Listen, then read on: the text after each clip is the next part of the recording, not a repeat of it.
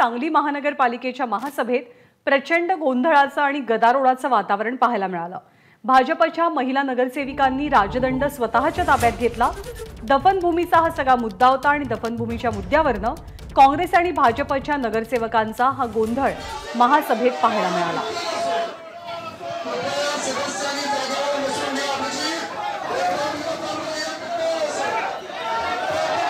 सांगली महानगरपालिकेच्या महासभेत झालेला हा गोंधळ आहे आणि या गोंधळादरम्यान भाजपच्या काही महिला नगरसेविकांनी राजदंड स्वतःच्या ताब्यात घेतला. दफनभूमीच्या मुद्द्यावरनं काँग्रेस आणि भाजपचे नगरसेवक आमने सामने आले. कुलदीप माने आपल्याला अधिक माहिती देतात. कुलदीप महापालिकेतली सध्याची स्थिती कशी आहे आणि ज्या मुद्द्यावरनं हा गोंधळ झाला तो प्रश्न नेमका काय आहे?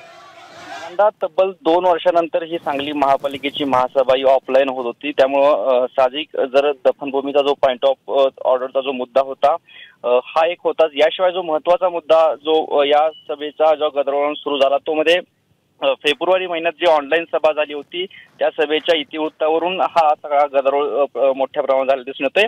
विशेष म्हणजे काँग्रेस या ठिकाणी राष्ट्रवादीसोबत सत्तेत आहे. आणि काँग्रेसचे देखील नगरसेवक भाजप सोबत यामध्ये या विषयावरून सोबत होते. आणि काँग्रेस आणि भाजपच्या नगरसेवकांनी मिळून या ठिकाणी आजच्या सभेला मोठा विरोध केला. फेब्रुवारी महिन्यामध्ये जी ऑनलाईन सभा झाली होती त्या इतिवत मंजुरी होऊन हा सगळा या ठिकाणी महासभेमध्ये राडा झालेला दिसून येतोय. कोरम पूर्ण नसताना देखील त्यावेळी फेब्रुवारीमध्ये महापौरांनी सभा घेतली होती.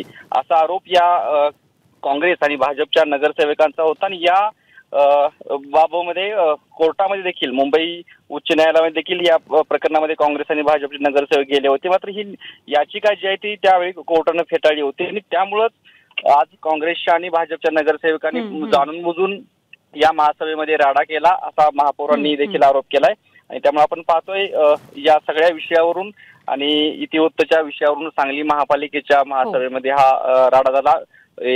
महासभेचा राजदंड पळवून नेण्यापर्यंत हा सगळा विषय गेलेला दिसून येतोय ज्ञानदा. कुलदीप धन्यवाद या सगळ्या माहितीबद्दल.